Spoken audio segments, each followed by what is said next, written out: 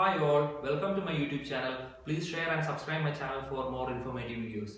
Today we are going to discuss whether eating tomatoes cause kidney stones or not. Actually tomatoes contain an acid called oxalic acid. This oxalic acid combined with the calcium in your blood and form calcium oxalate which is a type of stone. There are different types of kidney stones like uh, uh, uric acid stones, struvite uh, stones, cystine stones, etc. And uh, what what happens when we eat tomatoes is the oxalic acid in the tomato combined with the calcium and form calcium oxalate. But the incidence of this happening, you know, the, the, the probability of it this happening is very less just because 100 grams of tomato contain only 5 milligrams of oxalate content. So, um, you know, it is very minimal that uh, um, a person develop kidney stones by eating tomatoes.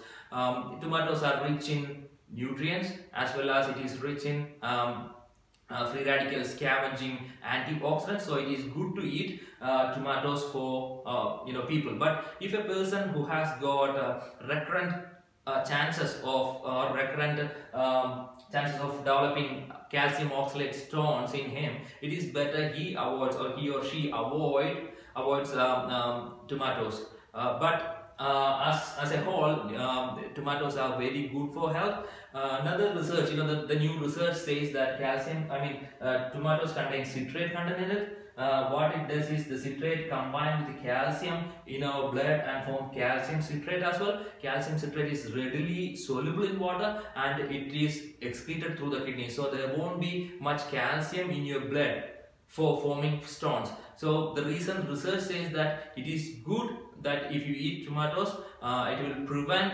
formation of recurrent stones with you know struvite stones or uric acid stones or uh, other types of stones.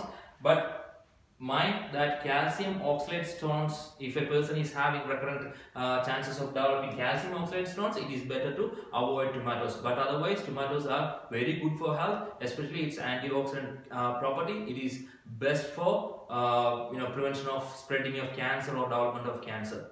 So if you if you found this video as in, uh, informative, please share and subscribe my channel. I will come with more uh, informative videos. Till then, bye. Thank you.